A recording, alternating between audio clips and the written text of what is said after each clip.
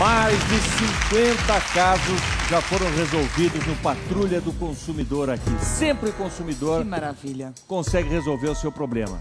E agora, de uma vez só, você vai acompanhar vários casos. São três situações na Patrulha do Consumidor. O primeiro é aquele dos senhores, do casal, né? O casal que levou um sofá, um sofá para reformar, pagou, mas só que nunca mais recebeu o sofá de volta. O segundo é o da dona Terezinha. Ela gastou todas as economias numa prótese dentária, que nunca ficou pronta. E o outro caso é o da professora Maria Helena, que resolveu reformar a casa, comprou uma banheira, né? mas o sonho dela virou um pesadelo. Em todos esses casos, o Celso Russomano comprou a briga. Será que ele conseguiu resolver? Nós vamos ver o que aconteceu agora.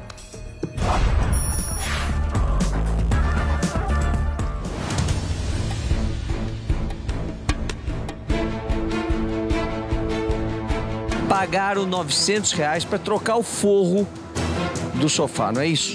O que você faria se tivesse só um pouquinho de dinheiro? Resultado de economias de uma aposentadoria bem limitada e tivesse o sonho de reformar aquele velho sofá que está na sua casa há muito tempo e você tem um carinho muito grande por ele. Afinal, foi nele que você recebeu os amigos, os parentes e vizinhos para aquelas conversas muito descontraídas. Onde foi parar o sofá de vocês? Não sei. Dizem que venderam. Não sei. É, eu não... Venderam, pe- e- e- mas receberam de vocês também para arrumar o sofá. 900 reais. Paguei em três vezes, assim, olha. Direitinho. Bom, a tapeçaria é essa daqui. Mas na hora da entrega do seu sofá reformado, o sonho se transforma num enorme pesadelo. Porque o tapeceiro a quem você confiou suas economias e seu móvel simplesmente desapareceu Quando se pega alguma coisa de alguém, se tem a posse dessas, dessa, desse objeto e se vende ou se dá fim de, desse objeto, isso cari- caracteriza o crime de apropriação indébita. Crime de apropriação indébita. Fora isso, ele pegou dinheiro, pegou dinheiro e sumiu com dinheiro. Isso caracteriza a prática de estelionato.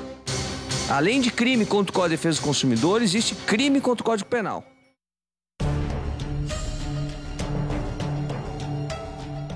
Bem-vinda, dona Terezinha. Imagine outra situação.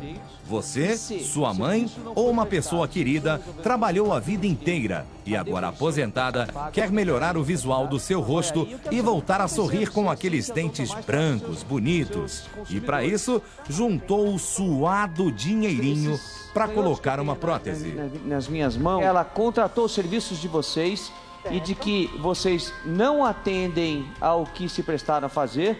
Fizeram é, a dentadura dela por duas vezes, ou seja, a prótese dela por duas vezes errada. O problema é quando você descobre que os sonhados dentes não cabem na boca. Isso depois de voltar quase 20 vezes para tirar moldes e fazer ajustes. Ocorre que a Terezinha tentou desistir e a clínica Odontomais se negou a devolver o dinheiro. De sorriso vazio, no fim você descobre que morderam seu dinheiro, mas não cuidaram dos seus dentes. foi pago pelo serviço, o serviço não foi prestado, isso é fato, tem que ser devolvido o valor da paciente, entendeu? Então, Você falou que não devolveria. Você Jamais, falou que não jamais, devolveria.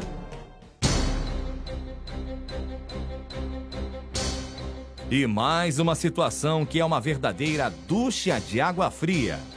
Sua família merece todo o conforto e você não mede esforços para isso. Você sonha em chegar em casa depois do trabalho, relaxar e nada melhor que um banho quentinho, né? Melhor ainda se for numa banheira com hidromassagem. As crianças iriam adorar, pois esse é o drama de uma consumidora que viu seu dinheiro quase escoar pelo ralo devido a problemas com fornecedores. Tem revestimento, mas não tem piso. E o piso está todo aqui, parado, jogado no canto, esperando. E o pedreiro também, por conta, esperando. E o meu banheiro nesse estado. Aqui está a nota, né, de que eu, com- o comprovante de que eu comprei no dia 11 de, de novembro, né, de- desse ano passado. Comprei e paguei à vista. Cada hora eu escuto uma desculpa, cada hora eles têm uma situação e a questão não se resolve. Esses três casos são reais e chamaram a atenção do Celso Russomano. E você vai ver agora no Patrulha do Consumidor como foram resolvidos esses casos. Solução Sofá. E nós estamos de volta para saber o que aconteceu. E as notícias não são nada boas. Nós soubemos que o Anderson, essa pessoa, dona da tapeçaria, nós tivemos lá com o irmão dele, vocês viram, está internado em uma clínica para recuperação de eh, viciados em Franca, no interior do estado de São Paulo. Ele estava viciado em drogas, crack, cocaína e foi internado. Então, eu gostaria de fazer o seguinte com vocês. Vamos a uma loja de móveis para que vocês nos digam é, mais ou menos como eram os móveis de vocês. Pode ser que alguém, pode ser que alguém que é, está nos assistindo é, saiba o paradeiro dos móveis de vocês, porque de fato ele vendeu os móveis, ele sumiu com o dinheiro. Vocês deram quanto em dinheiro? 900. 900, 900 reais. 900 reais em dinheiro, sumiu com o dinheiro. Prat... Praticou estelionato, tem que devolver o dinheiro, tem que devolver os móveis. Isso é crime, isso dá cadeia, não é porque ele está internado, se recuperando, que ele vai sair é, ileso dessa história. E aí eu gostaria de a gente aproveitar, a gente está aqui no centro é, da Lapa, em São Paulo. Vamos dar uma olhadinha nos móveis aqui numa loja de móveis, numa dessas da, da rua. E ele Vamos e andando, a gente vai falando. Ele viu, Celso? Não foi só ele, a esposa também. A esposa também. É. É. é Estavam administrando juntos lá. foi junto. Ela que combinou comigo a tudo, né? E ele foi lá tirar as medidas, tudo direitinho, e foi buscar os móveis depois. O pai dele foi buscar os móveis numa carroça, numa ca- caminhonetinha, né? Pronto. Quanto tempo já faz isso? Foi em novembro de 2010. Em novembro de 2010. E desde lá até agora vocês estão morando sem móveis em casa. É, compramos um qualquer um lá, uma porcaria lá que já tá quebrando, né? Pra quebrar um galho. É, mas já tá quebrando. Quebra o galho e quebra também ah, o móvel. Que é um móvel bem simplesinho. É que a gente não pode comprar um igual aquele, que aquele nós ganhamos do meu filho. Quando nós éramos zelador lá na Oscar Freire, então meu filho teve o maior carinho de comprar aqueles móveis, Uma prestação, pagou devagarinho. né? É, bonito, muito lindo. E ele me faz isso. Eu queria que pusesse plástico, porque nós estamos na praia, né? E você mandou forrar lá. mandou forrar com plástico. Para meus Temos uma loja de móveis aqui. Opa, tudo bem? Como vai? Tudo em ordem? Dá licença? Vamos, vamos, vamos ver se a gente mostra mais ou menos como é que era o sofá de vocês, as poltronas. Aqui a gente tem bastante sofás aqui, tem cadeiras. Como é que era mais ou menos o sofá de vocês? A fotografia. Você tem uma fotografia aí? Vamos ver como é que era o móvel parecido. Nós estamos tentando localizar, achar um, um móvel parecido. O sofá cama daqueles que você abre Olha, e se olha torna a uma cama. largura dele, ó, cada Ah, olha, a gente mostrou da outra vez. Era um sofá e ele abria sofá-cama. É. Então, deixa eu falar com o gerente aqui. Então, quem é o gerente aqui? Ô, José Santos, tudo bem? José, você por acaso tem aí algum sofá que seja sofá-cama, mais ou menos como esse? Tenho, grande? tenho sim, Tem? tenho. Pode mostrar pra gente? Olha ali, olha ali. Olha lá. Olha aí, olha, tá ampliada a foto. Né? Ele tá fechado aí. É, combinaria com a casa de vocês? Hein, eh, Tarcísio? Minha casa humildezinha, É Celso. muito pequenininha, mas É um ovinho de codorna, mas é cheio de amor. E se eu disser pra vocês que a Marabras vai dar tudo isso de presente pra vocês? Mentira. Verdade. Jura? Ai, meu Deus. Ah, então deixa eles de lado. Gostaram? Nossa. É bom. Fica tranquila, nós vamos atender a senhora como a senhora merece ser atendida. Olha só que presente bacana. Ai, Celso, deu-lhe A gente não consegue chegar no Anderson, a gente até vai ligar pra ele. Vamos pegar o telefone, nós vamos ligar pra ele. Ele vai ter que responder pelo que ele fez. Não é porque a gente está re- resolvendo o problema aqui de outra forma. Então você já viu, olha ali, você vai ter esta esse home para colocar sua televisão. Olha que bonito. As duas poltronas que você viu e mais o sofá cama. Tá? Obrigada, Celso, eu te Com amo. a sua ajuda da Marabras. Tá bom. Estando bom, provisoriamente, para uma das partes, porque para outra não está, Celso Russomano, na Patrulha do Consumidor.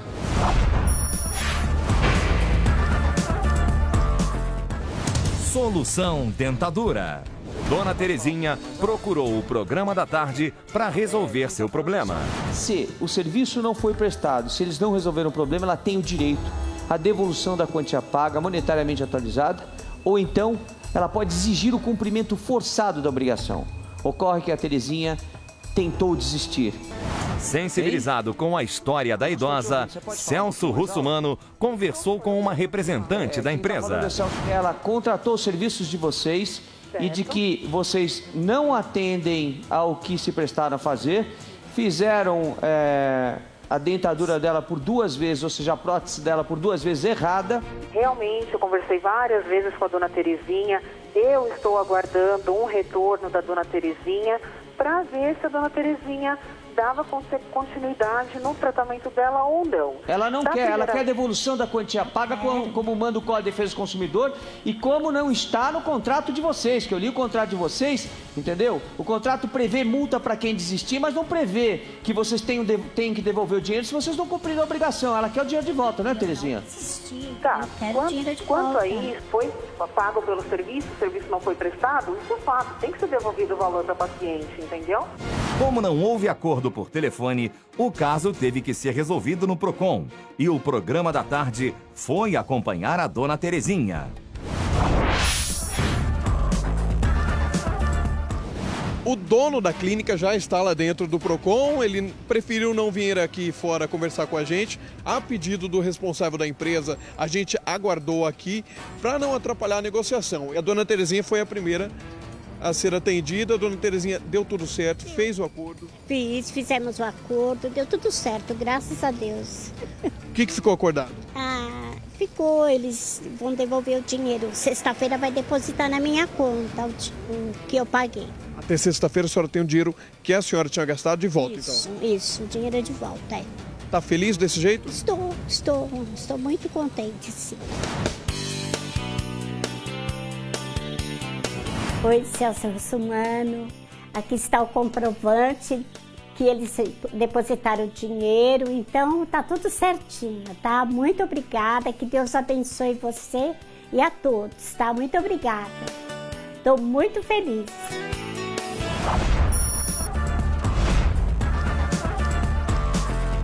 Solução Banheira. Nós queremos saber quando é que vai entregar a banheira, porque até agora nós não temos essa, essa resposta. Eu estou me comprometendo em entregar esse produto em 10 dias na casa dela e para reparar o nosso, o nosso erro, o nosso, o nosso transtorno, a gente vai pagar toda a mão de obra e todo o prejuízo causado para a nossa cliente. Eu acho louvável que vocês façam isso. Eu acho que é uma forma, talvez, de reparar. Agora precisamos ouvir a Marilena se ela aceita, né? Porque é ela que está aqui com o problema. Sim, Celso, eu aceito. Você aceita? Aceito, é lógico. Perfeito. Nós vamos acompanhar você. Tá, tá bom? E conforme o Celso Russumano prometeu, o programa da tarde foi acompanhar a entrega e a instalação da banheira na residência da professora Maria Helena. Agora eu tenho a minha banheira. Após ter ido ao programa, recebi rapidamente. Agora a obra está andando, né? Está praticamente instalada já a banheira. Faltam poucas coisas para terminar. E o meu sonho, que parecia que não seria realizado, agora foi realizado. Não é, filha? É. Obrigado, Celso. Obrigado ao programa. Esses foram mais três casos solucionados pelo programa da tarde, no Patrulha do Consumidor, com Celso Russomano.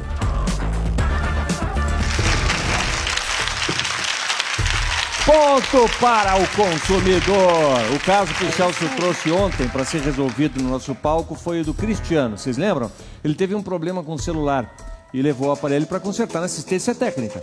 Com a demora para fazer o serviço, o Cristiano entrou em contato aí soube que o aparelho tinha sido enviado para uma outra filial da assistência. E aí veio o pior: a loja foi assaltada. O celular do Cristiano foi levado nesse assalto aí. E ele não tinha sido ressarcido. Aí o Celso Russomano entrou nessa história. Você vai ver agora, e nós também, porque eu não sei como é que terminou esse, esse episódio, né? Eles não conseguiram falar com a empresa aqui no estúdio. É, vamos ver o desfecho dessa história.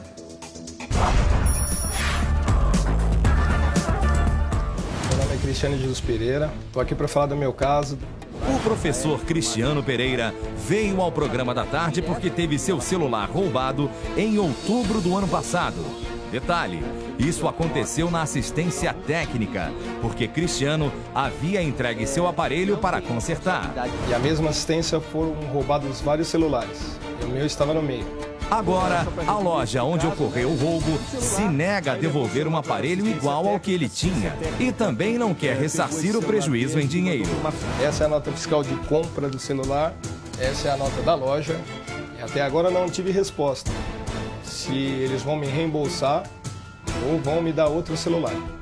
Vamos deixar claro aqui que a empresa, no caso essa empresa Informática e Celulares, JR Informática e Celulares, que eu tenho aqui em mãos, não tem responsabilidade direta, porque ela foi vítima de um, de um furto ou de um roubo, não importa, mas indireta sim, porque o Código de Defesa do Consumidor estabelece que o prestador de serviço responde independentemente da existência de culpa pela reparação dos danos causados aos consumidores por defeitos relativos à prestação de serviço. O defeito é a falta de segurança.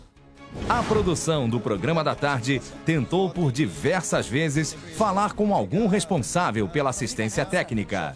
Tentamos, tentamos, tentamos. Nós estamos aqui com o telefone da loja, que é esse aqui, e nós já estamos há 36 minutos tentando falar com a loja. Parece que nós conseguimos? Não conseguimos até agora. De novo, como o tratamento dado aos clientes é sempre diferente, antes e depois da compra, não há outra alternativa para o Celso Russomano a não ser exigir pessoalmente para que seja cumprida a lei de defesa do consumidor. Bom, nós estamos saindo dos estúdios da Rede Record Televisão, vamos até a cidade de Dutra, zona sul de São Paulo. Vamos lá para ver se a gente resolve o problema, porque infelizmente por telefone não foi possível. Nós não conseguimos falar com ninguém. Vamos lá, Cristiano.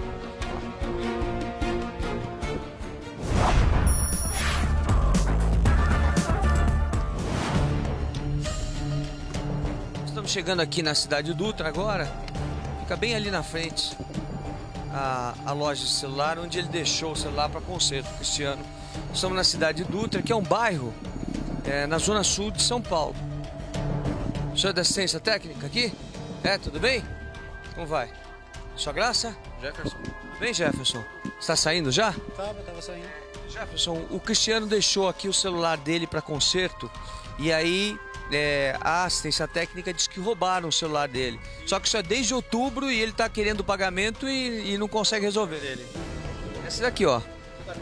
Tá, tá a nota, a, a, tem aqui a compra e tem aqui a ordem de serviço de vocês.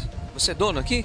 Sou. Deixa é? eu dar uma olhadinha qual que é. Ele veio aqui quantas vezes? Cinco? Mais de dez vezes. Eu pedi pra ela só pra você me ligar e me dar uma... Tava, a menina que trabalhava aqui, ela foi mandada embora justamente por esse motivo. Que ela não passava as coisas tudo certinho. Não passava. Você não sabia o que estava acontecendo? Não sabia o que estava acontecendo. Tô sabendo agora, tô vendo agora o papel.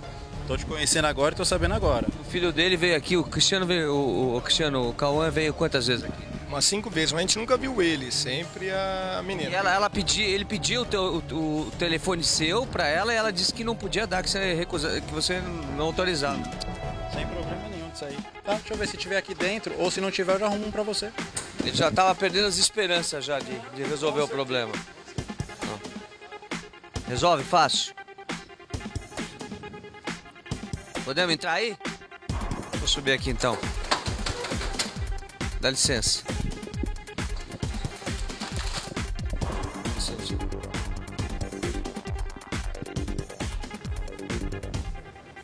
O seu não era isso aqui não, né? Não era rosa não, né? Não. Não. Era um preto. Eu acho que não vai estar aí, porque a menina falou que ele foi roubado. Teve, teve um roubo sim, realmente. Mas foi, foi aqui na, na loja que o roubo? Foi aqui nessa loja mesmo? Isso. Aí você falou do Samsung Star, aí por isso que eu lembrei que eu tinha um aqui. Mas até aí.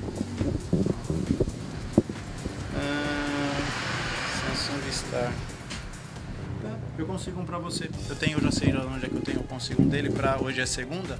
Pra quarta-feira, pode ser? Quarta-feira você vem buscar? Sem problema, sim. Vem buscar. Ah, aí eu peço pra equipe acompanhar você. Tudo bem. Tá bom? Tranquilo. O, o Jefferson entrega pra você. Legal. Ok, pode ser assim? Tá? Pode ser. Então quarta-feira a gente retorna aí com a solução do problema, segura a tua nota aí. Ele vai precisar, evidentemente. É, vai marcar o número do telefone. Então é o seguinte, Ah, depois um você, é, é, te dá um toque, aí você traz aqui a, carregador de tal, se ele te der a caixa nova, você entrega isso daqui pra ele. Tudo bem. Tá bom?